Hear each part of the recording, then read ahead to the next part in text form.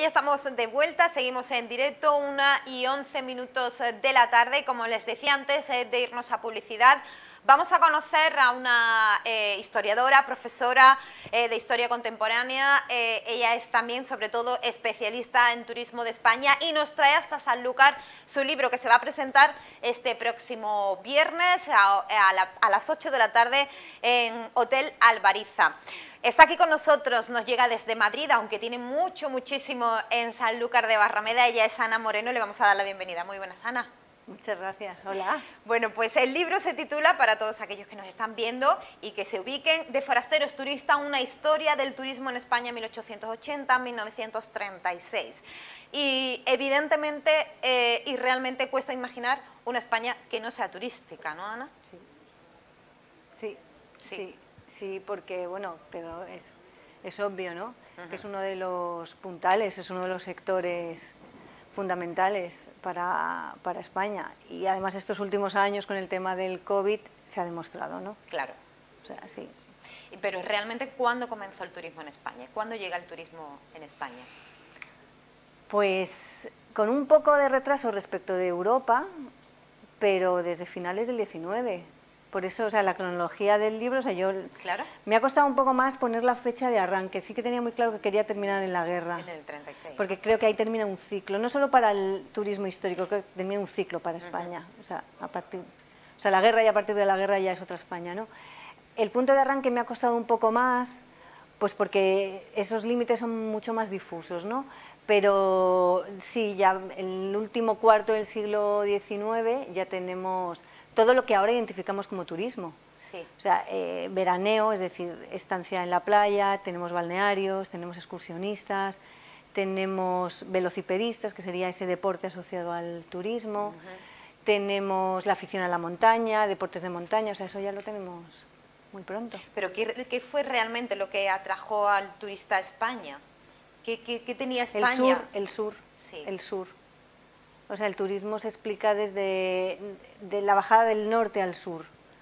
Entonces España, es verdad que hay un momento que no puede competir, quiere competir con Italia, porque realmente el gran destino turístico europeo es Italia, pero la posición de España como una península medio mediterránea, pero bueno, en cualquier caso, una península en el sur eh, es fundamental, claro. Se entendía en el 19 y se sigue entendiendo ahora. O sea, el gran activo turístico de España es donde está. Claro, que está en el sur, se claro. Encuentra, evidentemente. Claro, o sea, a ver, el origen también del turismo es muy difuso, porque está ahí por el tema, el, Gran Tour, ¿no? ese viaje de conocimiento de, estos, de estas élites británicas desde el 18, pero también tiene mucho que ver con la salud. Y esa búsqueda, eso de, de esas riberas del Mediterráneo, mejor clima, más libertad, entonces, eso probablemente es lo que explique. Pero ese turismo de, ese siglo, del siglo XIX, ¿venía buscando la playa, el veraneo, venía buscando ese tipo de turismo? No. Eh, el viajero internacional que viene a España en el XIX viene buscando cultura. Viene buscando pues lo que en ese momento se crea también, lo crean, el turismo se construye culturalmente, ¿no? Y lo construyen ingleses y franceses en la guerra de la independencia, es lo que identificamos como el viajero romántico, ¿no? que yo creo que a partir de ahora tenemos que empezar a llamarlo turista. Y ellos vienen buscando ese exotismo, e-, esa, como esa leyenda que ha creado el romanticismo europeo sobre España. Lo que pasa es que las élites nacionales sí están haciendo un poco lo que están haciendo las élites europeas, y eso sí que están buscando playa, balneario, montaña, mm, bicicleta, eso sí. Entonces tenemos ahí dos como dos, planos, el turista internacional y el turista nacional. Nacional, ¿no? Eh, dentro de ese turismo, evidentemente, hay muchos lugares, rincones de España en que atraían más o menos turismo, pero en ese libro se nombra, el nuestro, se nombra Sanlúcar de Barrameda, ¿no, Ana? Claro. Es lo que te comentaba antes, que no se puede, no debemos seguir hablando de turismo, de veraneo o de playas aristocráticas sin mencionar Sanlúcar. Quiero decir que todos, los, todos identificamos clarísimamente San Sebastián y Santander, ¿no? como las dos grandes, los dos grandes focos de turismo litoral, lo que en la época se llamaba las playas frías, ¿no? las playas del norte. Pero hay aquí un reducto, hay una tradición muy importante de veraneo aristocrático ligada a los Montpensier, que querían tener su palacio de veraneo en Sanlúcar, pues como todas las grandes casas principescas y reinantes de Europa que tenían sus palacios de veraneo, ellos vivían en Sevilla y lo encuentran aquí en Sanlúcar.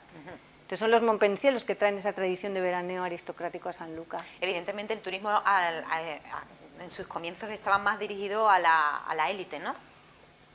Sí, Claro, es un tema económico y es un tema de disposición de tiempo. Sí. Lo que pasa es que eh, es otro de los, eh, de los mitos que yo creo que también tenemos que empezar a desterrar. Eh, a partir de la Primera Guerra Mundial, o sea, lo que ya son años 20 y 30, ahí ya sí se puede hablar de un turismo no masivo como lo entendemos ahora, pues porque no son millones de personas, pero desde luego en los años 20 y 30 las playas, muchas playas de España están llenas de gente llenas. O sea, en Santander lo dicen, es que no encontramos sitio en la playa, en los años 30.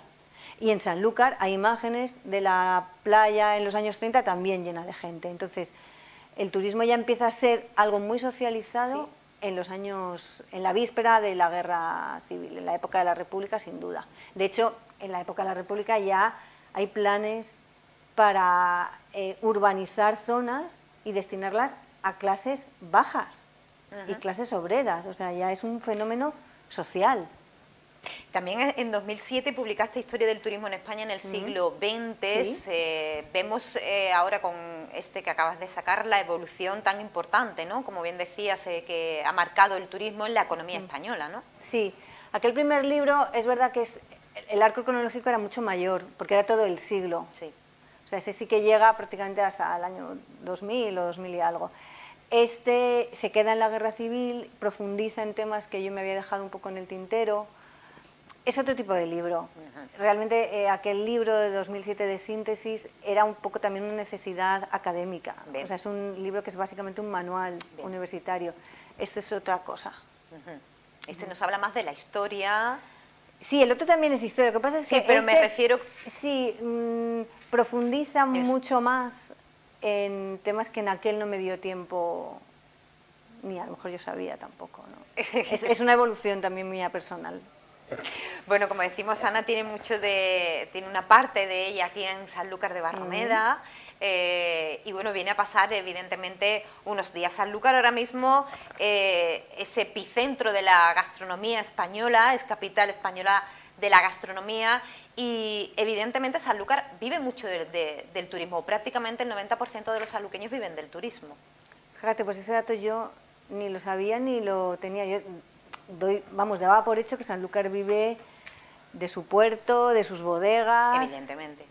Y también el turismo, pero no, la, no tenía muy claro el, la proporción de, de los ingresos de Sanlúcar. Bueno, pues como decimos, en Sanlúcar se presenta este libro el próximo viernes 1 de julio, se hace en Hotel Alvariza a partir de las 8 de la tarde, las puertas están abiertas para todo aquel que desee asistir, evidentemente, y conocer, bueno, pues eh, la historia la historia del turismo en España, como decimos, eh, desde 1880 hasta 1936, de la mano de eh, esta mujer medio madrileña, medio sanluqueña, Ana Moreno.